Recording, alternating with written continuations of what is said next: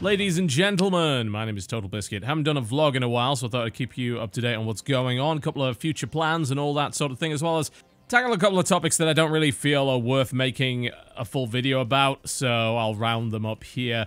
First things first, things seem to be going fairly well on the channel. Nothing to really complain about. We actually got through January without going bankrupt and falling flat on our faces. That's always nice. January is not a good month for advertising revenue, if you didn't already know that. It's because nobody buys ads in January. Everyone's spent out from Christmas, so there's no point in really throwing ads out to people that can't afford to buy your product in the first place. So it's never a good month. A lot of people switch to streaming or they take some brand deals. I mean, we actually got through the month pretty well thanks to YouTube Red, as it turns out. For those wondering whether or not YouTube Red is a good thing, YouTube Red is a very good thing. At least it is for me, anyway. And it makes sense, considering that YouTube Red pays out on the basis of minutes watched, and we have some of the highest average view durations on the entirety of YouTube. We have some very long content here on the channel, and we have people that do stick around and will often listen in the background while they're doing work or cooking or whatever. You know, our videos are really designed in such a way that you don't necessarily have to pay attention to what's going on on the screen. It's more of a podcast format than anything else, and it seems to work pretty well. So YouTube Red has been paying out pretty awesome dividends for us as a direct result, and the income only seems to be going up at this point. Needless to say, I'm pretty happy about that. Some people were somewhat concerned about YouTube Red. I have to admit that I was not, considering that it was pretty obviously going to outpay what your average ad revenue would be per person, which is almost zero it's not really hard to beat almost nothing at all. You know, an individual is not worth that much in terms of ad revenue. In more cases than not, they're not even worth a cent. So you've got to bear that in mind. Obviously, paying $10 to YouTube and then splitting some of that amongst the people that you watch is certainly going to help. And at this point, YouTube Red actually makes up about 15% of our income, which is significant, I have to say. That's a nice little boost, and it only seems to be going up, so I'm pretty happy with that. So there's the answer to the question as to whether or not YouTube Red is helping creators, yes, to a greater or lesser extent, but it's helping pretty much everybody, so I'm certainly happy with how that's going. It is unfortunately not all roses and sunshine here on YouTube. You've probably heard murmurings or indeed a lot of shouting lately about the YouTube copyright system, and some people may have been wondering why I haven't chosen to comment on it yet. Well, honestly, I covered this like three years ago. I think I was one of the first to really come out and speak at length about the YouTube copyright strike system and the way that videos get suspended, the way that income is diverted away from you, and of course the potential for censorship and abuse. And I spoke on it at length in my most popular video of all time, which has got almost 5 million views. It's called This Video is No Longer Available, the Day One Garry's Incident Incident. And I released that in 2013 my concerns haven't gone away and YouTube hasn't really got any better at it. It's just, in my experience at any rate, silly indie game developers have decided not to poke the bear, and I haven't had any problems with any of the major publishers either, though I have been avoiding Sega and Nintendo since they are particularly egregious when it comes to copyright claims. That said, though, there's been plenty of nonsense lately. You've been seeing channels going down for no reason. Channels like I Hate Everything getting suspended for pretty much no reason. Channels losing privileges and monetization rights. And these are big channels as well. Team 4 Star just went down quite recently for basically no reason, though it would now frankly seem to have been restored. And the current campaign appears to be a hashtag which is WTFU, which is going to screw with my search ranking, damn it. Yes, that's the reason I haven't talked about it. No, it, that's not going to be a problem. Anyway, I don't really have anything to add over what I already said two and a half or so years ago. The situation sucks, it's overreach, it's covering of the arse by YouTube and Google more so than they frankly need to. These are not proper DMCA takedown requests. Yes, YouTube has to legally comply with those in the United States. They've got to take those videos down, but these are not legitimate DMCA takedown requests, as it turns out. Their internal system doesn't really count. And the problem with that is that they skirt around all of the protections that they offer to the person that is being claimed against. But here's the thing, if they're not directly abiding by the letter of the law when it comes to the DMCA, then they can also do certain things to alleviate some of the problems that these creators are having. I mean, for instance, the fact that income goes directly to the person that claimed it without any verification of whether or not they are actually owed it is insane. That income should be put in escrow and should be clearly given to the person that actually wins in terms of the copyright claim. Bearing in mind, a lot of these claims are reversed, but they can take up to 30 business days for that to happen, which is not an insignificant portion of time, considering that's when the majority of videos get the majority of their views. So it's possible to claim rights over a video, take the income for the first 30 days, and then even if you do win the claim against that person, you don't see any of that revenue back, which is insane. it's unbelievably abusable. I can't imagine why you would ever want to encourage that. And we see it happen time and time and time again. It keeps happening. In fact, it seems to be happening more lately. I don't know if that's actually true or whether or not it's just a confirmation bias based on the fact that a lot of big channels have been talking about this particular issue as of late. I mean, I'm glad they finally cottoned onto it. I've been pushing this issue for years, and I'm glad that it's finally getting attention. So, you know, good on all of those big channels that are actually talking about this. Now, when it comes down to the concept of fair use, a lot of people, especially those that think they understand the law and clearly don't, will talk about the idea that fair use is an affirmative defense and it's not in fact an automatic right. Well, yes, but as a concept, it is something that frankly should be respected, particularly within a system that is designed by YouTube themselves and doesn't in fact stick to the letter of the DMCA law.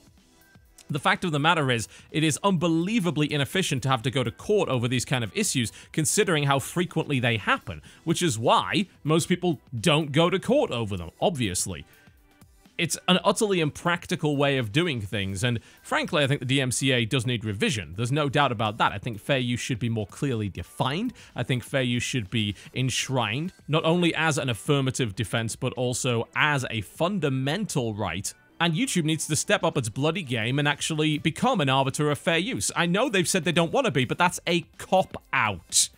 It absolutely is. If YouTube is not willing to protect its creators, then what good is it for? YouTube was not built on the back of these large corporate channels. It was built on the back of individual creators and small groups that started off as hobbyists and became popular. As far as I'm concerned, YouTube should be instituting stricter penalties for abusing the copyright system, and they just have not done that. You know what's interesting about the DMCA is that an actual DMCA claim is subject to a charge of perjury if it's incorrect, if it's done with deliberate malice with knowledge that the DMCA claim is false. The problem is that YouTube gets around that by not actually having it be a legitimate DMCA claim, but basically abiding by the strictness of what the DMCA is anyway, at least when it comes to the claim. The claimant actually doesn't have much of the responsibility that you would see under a regular DMCA claim that's supposed to stop this abuse. A perjury charge is pretty damn serious, but you can't be charged with perjury for making a YouTube copyright claim because it's not a DMCA notice. So really, there's very little risk to abusing the copyright system, and that risk needs to be introduced if they want to cut down on the abuse. Anyway, I'm just repeating myself. You know, I said this two and a half years ago, and it's still true. YouTube has made a token effort to protect the fair use of a tiny number of creators. But it's not enough we need to see more widespread respect for fair use, and frankly, if YouTube is going to use its own internal system, then they could also have their own internal definition of what fair use actually is. Since there are fewer requirements and a much, much lower burden of proof and duty of care when it comes to issuing a copyright claim on YouTube versus an actual DMCA claim, as far as I'm concerned, those claims should be weaker as a direct result of that fact. But hey, what do I know? Alright, moving on to other things. PAX East. Well, turns out I should hopefully be healthy enough to travel and do PAX East this year, which is something that I've very much been missing being able to do over the last couple of years. As I said, the chemo's going well. My immune system is weaker than it would be otherwise, but it's strong enough to handle going to one of those events. What might happen, though, is that we avoid the signing session. I'll probably be avoiding these large, kind of very intimate crowds of people. There's a big risk of infection. There's a risk of catching a disease, a cold, or whatever, which is quite serious considering my current condition. So I may have to avoid that, but outside of that, it looks like we're going to be trying to do the podcast, and I'm going to be doing a limited amount of coverage from PAX East. It's not going to be as insane as I've done before. I really can't handle that. Not at this point anyway, but I would certainly love to do some coverage nonetheless, and I will certainly cover games at PAX East in some respect. So, we'll be going. I will give you more details on the plans, and hopefully on the co-optional podcast panel date closer to the event. Moving on to more immediate matters, it looks like this weekend I'll be working for the most part on Far Cry Primal. The embargo for that is Monday, so that will be when the WTF is should come out if everything goes to plan. Regardless of the embargo, I was able to stream the game, and I did so for a couple of hours. I can't review it yet. That's what the embargo says, not me. The whole point is to make sure that all of the outlets have pretty much equal time working on it so that they can get their PC-specific reviews up.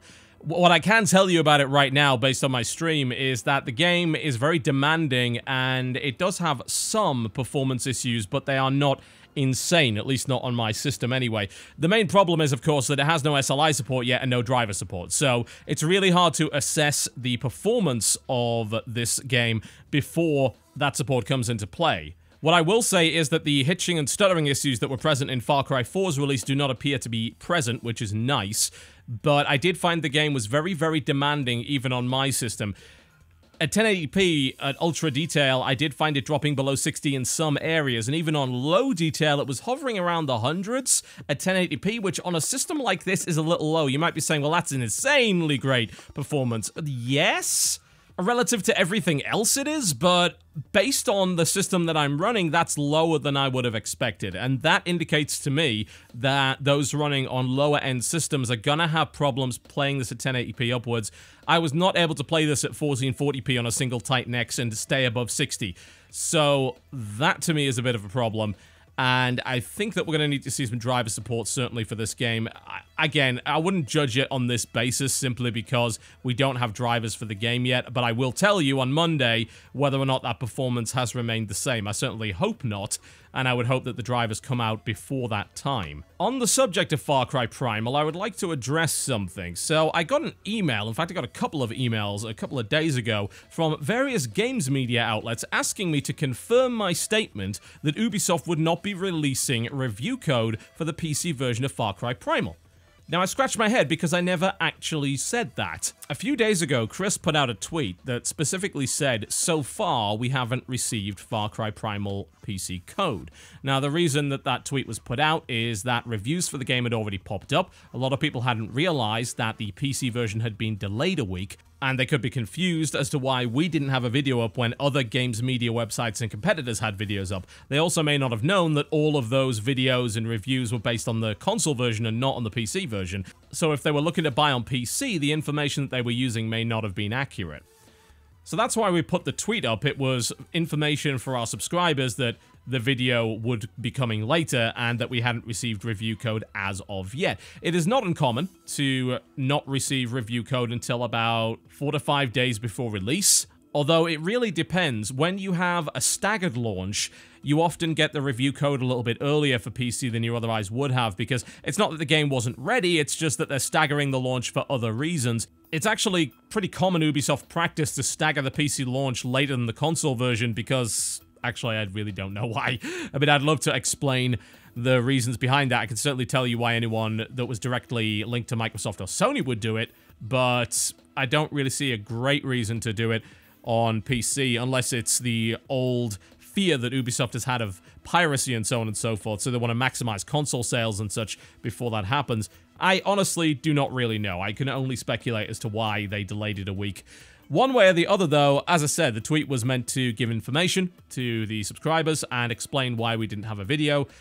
Turns out, somebody took the tweet, altered the tweet, posted it to Reddit, and it hit the front page. Now, I know this because I got sent a screenshot of said post by one of the game's media sites after I asked them, what are you talking about? I never said this. Those of you who don't know, I pretty much left social media and Reddit entirely, and it's made me a much happier person, and I've had a lot of fun over the past week or two with video games instead of stressing about what Reddit has said, but it seems that Reddit comes right back into focus because they decided to editorialize my tweet, and what that ended up saying was that there would be no code which I never said. So thanks Reddit for butchering what I said and misrepresenting me, and now no doubt everybody hates me and thinks I'm stupid now that there are review codes out. So I just want to clarify that and make sure that it is on record that I never actually said that, and there's clear evidence of such if you go and just read the tweet in the first place.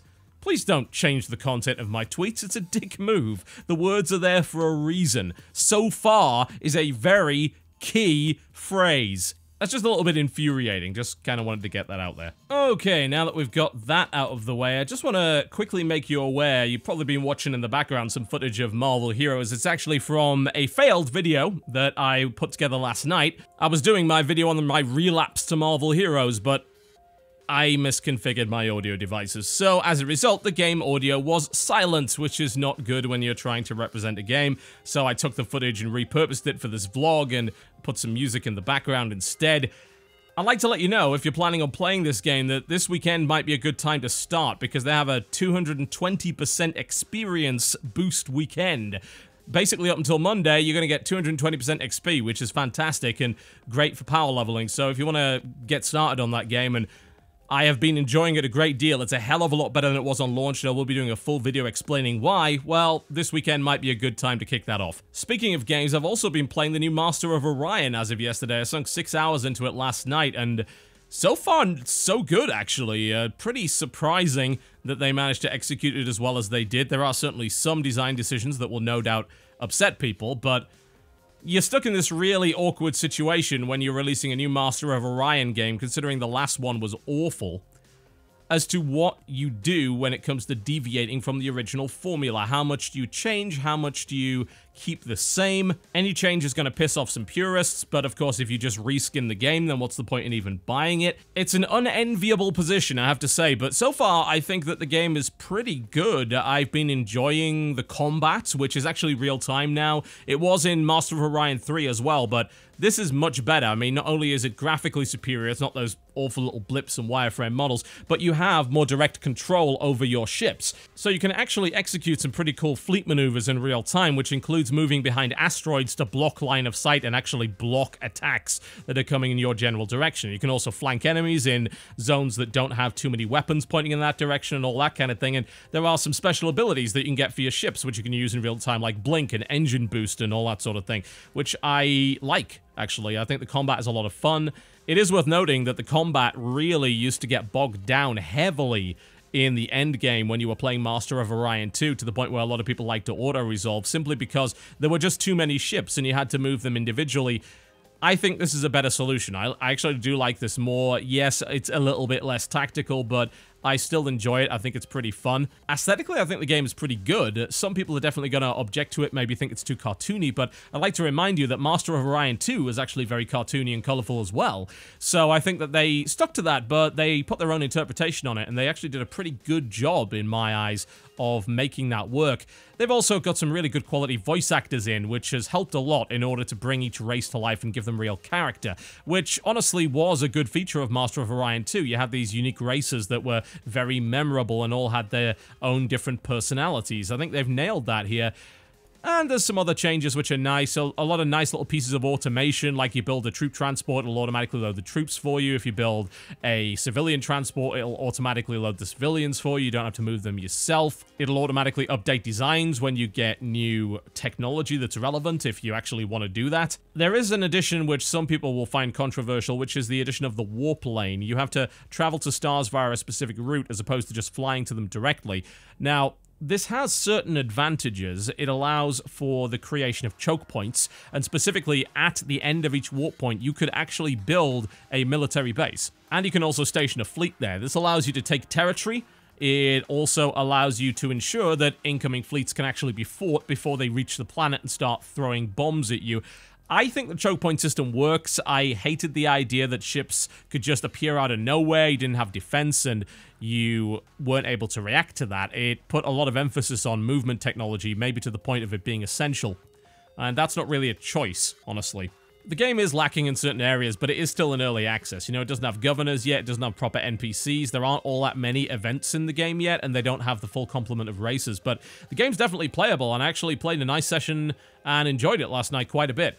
So I will hopefully be playing a lot more of that, and I'm looking forward to seeing how that game develops. There's actually a lot of stuff on Steam I really want to play right now. Life in Bunker, I want to play this new Stardew Valley game, I think. Seems like a take on Harvest Moon of some description. There's also something called Age of Gladiators, which is a gladiatorial management game. Factorio just hit Steam. It's been in early access for quite some time on its own website.